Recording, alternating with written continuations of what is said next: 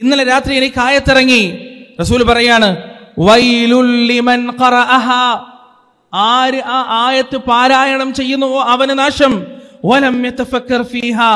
ആ ആയത്തിനെ കുറിച്ച് ചിന്തിക്കാതെ ആ ആയത്തിനെ കുറിച്ച് ആലോചിക്കാതെ ആരെങ്കിലും ആ ആയത്ത് പാരായണം ചെയ്യുകയാണെങ്കിൽ അവന് നാശം എന്ന് റസൂലുള്ളാഹി സ്വല്ലല്ലാഹു അലൈഹി വസല്ലം സുബ്ഹാനല്ലാഹ് കേട്ടിട്ടുണ്ടോ നിങ്ങൾ എന്നിവർ അങ്ങനെ ഒരു ആയത്തിനെ ഓതിയാൽ ചിന്തിച്ചിട്ടില്ലെങ്കിൽ നാശം സംഭവിക്കുന്ന ഒരു ആയത്തിനെ എന്നിട്ട് പ്രവാചകം പഠിപ്പിച്ചതാണ് ഏതാണ് ആയത്ത്? പരിശുദ്ധ ഖുർആാനിലെ സൂറത്ത് ആല ഇമ്രാനിലെ അവസാനത്തെ ആയത്തുകളിൽ ഒരു ആയത്ത്. ആയത്ത് എങ്ങനെയാണ്? അള്ളാഹു പറയുന്നു ഇന്ന ഫീ ഖൽഖിസ്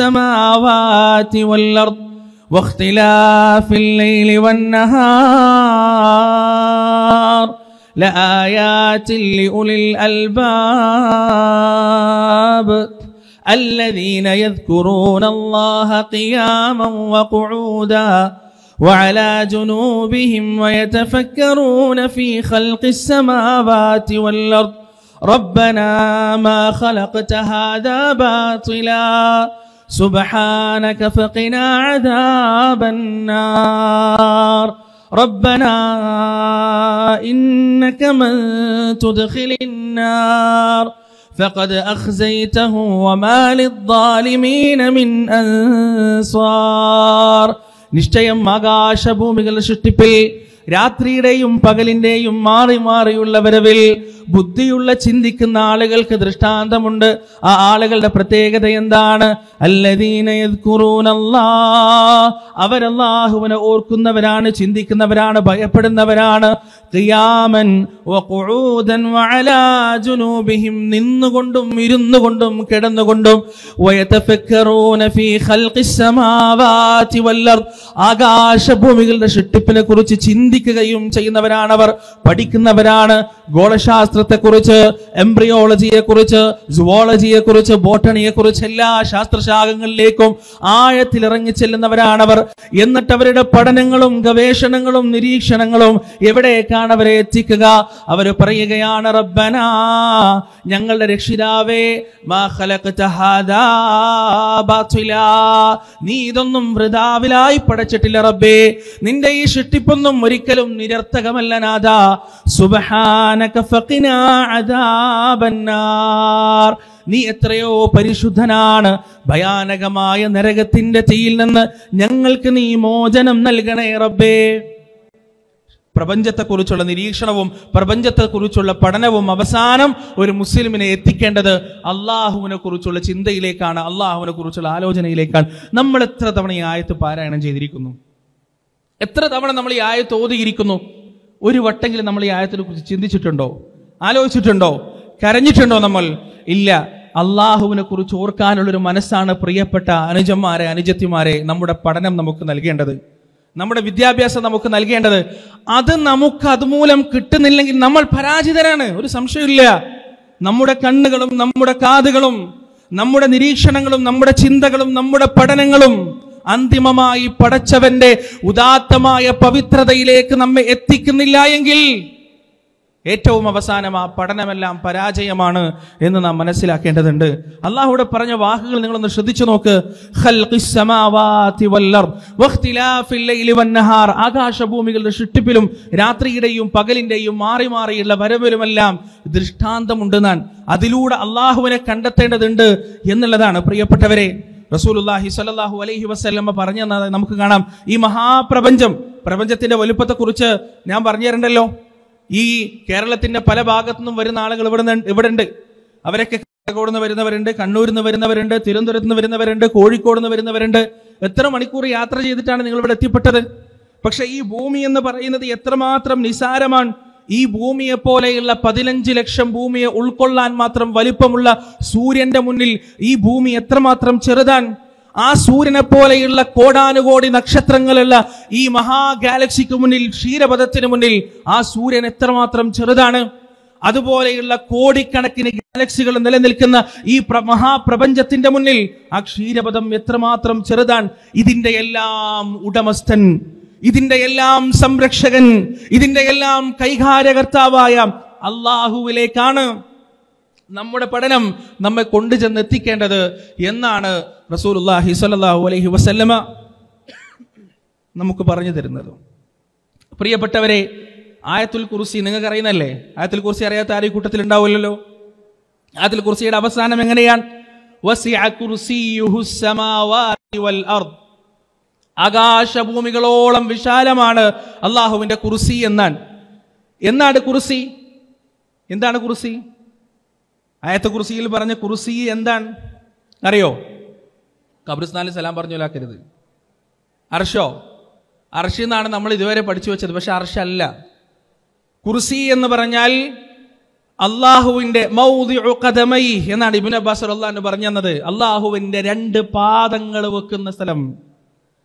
അള്ളാഹുവിന്റെ രണ്ട് പാദങ്ങൾ വെക്കാനുള്ള അതിന്റെ വലുപ്പത്തെക്കുറിച്ച് എന്താണ് അലൈഹി വസല്ലം നമുക്ക് പറഞ്ഞു തന്നത് ഈ ആകാശഭൂമികളെല്ലാം ആ മുഴുവൻ പ്രപഞ്ചവും ആ കുറിസിയിൽ വെച്ച് കഴിഞ്ഞാൽ ഏതുപോലെയാണ് അത് ഉണ്ടാവുക?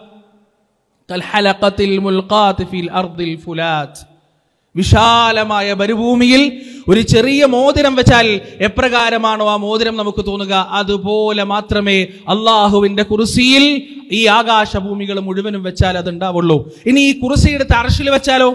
അർഷ് എന്ന് പറഞ്ഞാൽ അള്ളാഹുവിന്റെ സിംഹാസനമാണ്. അർഷിയിൽ വെച്ചാലോ? ഇതുപോലെ തന്നെയാണ്. വലിയ മരുഭൂമിയിൽ ഒരു മോതിരം വെച്ചാൽ എപ്രകാരം ഉണ്ടാകുമോ അത്രത്തോളം ചെറുതായിരിക്കും ഈ കുർസി. അള്ളാഹുവിന്റെ അർഷിന്റെ വലുപ്പം എത്രയായിരിക്കും പ്രിയപ്പെട്ടവരെ? റസൂലുള്ളാഹി സ്വല്ലല്ലാഹു അലൈഹി വസല്ലമ പറയുന്നു അൻ ഉഹദ്ദിസ മിൻ മിൻ അർഷ്. അള്ളാഹുവിന്റെ മലക്കുകളിൽ അർഷ് ചുമക്കുന്ന മലക്കുകളിൽ ഒരു മലക്കിനെ കുറിച്ച് വിശദീകരിക്കാനുള്ള അനുവാദം എനിക്ക് കിട്ടിയിട്ടുണ്ട്. എന്നിട്ട് റസൂൽ പറയാണ് ആ ഒരു മലക്കിന്റെ പെരടിയിൽ നിന്ന് ചെവി വരെയുള്ള ചെവിയുടെ അറ്റത്തെ മാംസം വരെയുള്ള ദൂരം എത്രയാണ്? റസൂലുള്ളാഹി സ്വല്ലല്ലാഹു അലൈഹി വസല്ലമ പറയുന്നു മസീറത്തു ആം 700 വർഷത്തെ വഴി ദൂരമാണ് ആ ഒരു മലക്കിന്റെ ചെവിയുടെ അറ്റത്ത് നിന്ന് ആ മലക്കിന്റെ പെരടി വരെ യാത്ര ചെയ്യാൻ. സുബ്ഹാനല്ലാഹ്. അത്തരത്തിലുള്ള എത്രയെത്ര മലക്കുകൾ പ്രവാചകൻ പറയുന്നു ആകാശത്തൊരു സൂചി കുത്താൻ പോലും ഇടമില്ല. ഒരു മലക്ക് അവിടെ സുജൂത് ചെയ്തിട്ടല്ലാതെ ഒരു മലക്ക് അവിടെ റുക്കു ചെയ്തിട്ടല്ലാതെ താരതമ്യേന പോപ്പുലേഷൻ ഡെൻസിറ്റി കൂടിയ സ്ഥലമാണ് കേരളമൊക്കെ. ആളുകൾ തിങ്ങി നിറഞ്ഞ് പ്രാർത്ഥി പാർക്കുന്ന സംസ്ഥാനമാണ് കേരളം എന്നാണ് പറയുക. പക്ഷെ കേരളത്തിലെ പല സ്ഥലങ്ങളിലൂടെയും നിങ്ങൾ യാത്ര ചെയ്താൽ നിങ്ങൾ ഇങ്ങനെ ഇങ്ങോട്ട് വരുമ്പോൾ തന്നെ രണ്ട് ഭാഗങ്ങളിലും ഒഴിഞ്ഞു കിടക്കുന്ന ഒരുപാട് സ്ഥലങ്ങൾ നിങ്ങൾക്ക് കാണാൻ കഴിയും. അവിടെ ഒന്നും മനുഷ്യന്മാരില്ല. എന്നിട്ടും ഹൈലി പോപ്പുലേറ്റഡ് ആണ് കേരളം എന്നൊക്കെ പറയുന്നു. പക്ഷേ മനുഷ്യനേക്കാൾ എത്രയോ ഇരട്ടിയാണ് മലക്കുകളുടെ എണ്ണം. ആ മലക്കുകളുടെ എണ്ണത്തെക്കുറിച്ച് റസൂൽ നമുക്ക് പഠിപ്പിച്ചെന്നതാണ്. പ്രവിശാലമായ ആകാശങ്ങളിൽ ഒരു സൂചി കുത്താൻ പോലും സ്ഥലമില്ല. അവിടെ ഒരു മലക്ക് സുജൂത് ചെയ്തിട്ടല്ലാതെ റുക്കൂ ചെയ്തിട്ടല്ലാതെ. ആ മലക്കുകളോട് മുഴുവൻ അള്ളാഹു ഖിയാമത്ത് നാളായാൽ എഴുന്നേൽക്കാൻ പറയും. അപ്പൊ ആ മലക്കുകൾ മുഴുവൻ പറയും അള്ളാഹുമ്മ അള്ളാഹുവേ ഞങ്ങൾക്ക് നിന്നെ ഇബാദത്ത് ചെയ്യേണ്ടതുപോലെ ചെയ്യാൻ കഴിഞ്ഞിട്ടില്ല. നിന്നെ ആരാധിക്കേണ്ടതുപോലെ ഞങ്ങൾക്ക് ആരാധിക്കാൻ കഴിഞ്ഞിട്ടില്ല റബ്ബെ എന്ന് ആ മലക്കുകൾ മുഴുവൻ പറയുമെന്നാണ്. സൃഷ്ടിച്ച അന്ന് തൊട്ട് സുജൂതിലും റുക്കൂയിലുമായി കാലങ്ങൾ കഴിച്ചു കൂട്ടിയിട്ട് ഇസ്രാഫിയിൽ സൂറിലൂതാൻ പോകുമ്പോൾ എഴുന്നേൽക്കാൻ പറയുമ്പോൾ ഈ മലക്കുകൾ പറയുന്ന വർത്താനാണിത്. പടച്ചോനെ നിന്നെ ഇബാദത്ത് ചെയ്യേണ്ടതുപോലെ ചെയ്യാൻ ഞങ്ങൾക്ക് പറ്റിയിട്ടില്ല. ജിബ്രീൽ അലൈഹി സ്വലാത്തു വസ്സലാമിന്റെ രൂപത്തെ കുറിച്ച് റസൂൽ നമുക്ക് പഠിപ്പിച്ചു തന്നിട്ടുണ്ട് എന്താണ്? നബി സല്ലല്ലാഹു അലൈഹി വസല്ലം പറയുന്നു അന യംഷി ഞാൻ ഇങ്ങനെ നടന്നുകൊണ്ടിരിക്കുമ്പോ സമയത്ത് സൗതം മിനസ് സമാ ആകാശത്ത് നിന്ന് ഞാൻ ഒരു ശബ്ദം കേൾക്കുകയാണ്. ഞാൻ എന്റെ ദൃഷ്ടികൾ മുകളിലോട്ട് ഉയർത്തി നോക്കി. ആ സമയം ഞാൻ അവിടെ കാണുകയാണ്. ഹിറയിലേക്ക് എന്റെ അടുത്ത് വന്ന മലക്ക് ആ മലക്ക് ആകാശമണ്ഡലങ്ങളെ മുഴുവനും മറച്ചുകൊണ്ട് ഒരു കസേരയിൽ അവിടെ ഇരിക്കുന്ന കാഴ്ച. അറുന്നൂറ് ചിറകുകൾ വിടർത്തിക്കൊണ്ട് ആകാശമണ്ഡലങ്ങളെ മുഴുവനും മറച്ച് ഭീമാകാരമായ രൂപത്തിൽ അവിടെ നിൽക്കുന്ന ജിബ്രീൽ അലഹി സ്വലാത്തു വസ്സലാമിനെയാണ് റസൂലുള്ളാഹി സ്വല്ലല്ലാഹു അലൈഹി വസല്ലമ പറഞ്ഞത്. പ്രവാചകം പറയുന്നു ആ ജിബ്രീൽ എന്നെയും കൊണ്ട് ആകാശാരോഹണം നടത്തിയപ്പോ ഒന്നാമത്തെയും രണ്ടാമത്തെയും മൂന്നാ- മൂന്നാമത്തെയും ആകാശങ്ങൾ കിടന്ന് അവസാനം അള്ളാഹുവിന്റെ സമീപത്തെത്തുന്ന സമയത്ത് അറുനൂറ് അറുന്നൂറ് ചിറകുകളുള്ള ഭീമാകാരനായ ജിബിരിയിലിന്റെ അവസ്ഥ ഇതുപോലെയാണ് പഴയ തുണി പോലെ പഴയ തുണി പോലെ. ഒരു മൂലയിൽ ചുരുട്ടിയിട്ട പഴയ തുണി പോലെ മിൻ അള്ളാഹുവിനെ കുറിച്ചുള്ള ഭയത്താൽ അള്ളാഹുവിനെ കുറിച്ചുള്ള പേടിയാൽ ആ റബ്ബിനെയാണ് പ്രിയപ്പെട്ടവരെ നാം മനസ്സിലാക്കേണ്ടത്. ആ അള്ളാഹുവിനെ മനസ്സിലാക്കുന്നതിലേക്കാണ് പ്രിയപ്പെട്ടവരെ നമ്മുടെ വിദ്യാഭ്യാസം നമ്മെ എത്തിക്കേണ്ടത്. ആത്മാർത്ഥമായി ഈ ആയത്ത് പാരായണം ചെയ്യാൻ നമുക്ക് കഴിയണം. ചിന്തിക്കാൻ നമുക്ക് കഴിയണം. നാം പഠിക്കുന്നത് ഏത് മേഖലയിലാണെങ്കിലും ആ മേഖലകളിലെല്ലാം അള്ളാഹുവിലേക്കുള്ള ചിന്തയിലേക്കുള്ള വഴിയുണ്ട് എന്ന് നാം തിരിച്ചറിയേണ്ടതുണ്ട്. എങ്കിലേ നമ്മുടെ ലക്ഷ്യം നാം പൂർത്തിയാക്കുകയുള്ളൂ. അള്ളാഹുവിനെ കുറിച്ച് മനസ്സിലാകുന്നതിലൂടെ നാം ഉദ്ദേശിക്കുന്നത് എന്താണ്? പരലോകമോക്ഷമാണ് സ്വർഗപ്രാപ്തിയാണ് നരകമോചനമാണ് യാതൊരു സംശയവുമില്ല.